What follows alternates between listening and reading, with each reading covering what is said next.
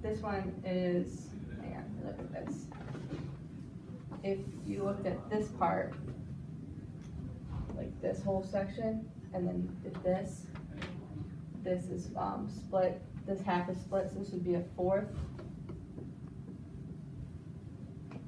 And then, because we've, we've taken half of this fourth, this part would be an eighth. And then these two are split in half, this eighth is split in half, so these would be sixteenths. And then we're looking at this. So what we decided to do was kind of split it again here and here. So these parts are fourths.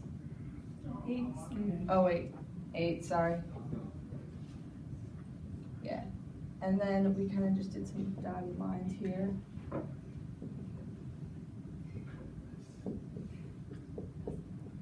Split it like this. And since this is whole part was a half, and we've already taken two eighths, that's a fourth. So we've got a fourth left to work with. And then we take that fourth and we split it into eight parts, which I haven't figured out the fraction for that yet. So, two parts of the fourth, that's what I'm trying to figure out. So, so there's eight parts of a fourth, like, how would I split? Right. So which, what are these then, what are they? So, so, So two eighths of a fourth, that's what you're trying to look at, right? Yeah, yeah, okay, so, uh, do you want me to? go? Yeah. Yeah, go. Oh, God. Well, wouldn't a, an eighth of a fourth be a three? second, Yeah, I think so. so you So get I was six, Trying to thirty. figure out that part, so would these be Yeah, you thirty could, seconds? and just- yeah, This it's just a fourth of a fourth. And so we got two thirty seconds, so it'd be a sixteenth for this whole square? yeah, well, I, I split it up into sixteenths to begin with, and then I was like, this is, um, and then I multiplied it by a fourth to get like, because it's at like twelve six, this all would be twelve sixteenths of a fourth, and then you get twelve sixty-fourths, and I simplified it to three sixteenths, or six over thirty-two, and then that would leave this part, but I didn't subtract yet, but I got three sixteenths for this, I don't know if that's right, do you kinda get my reasoning?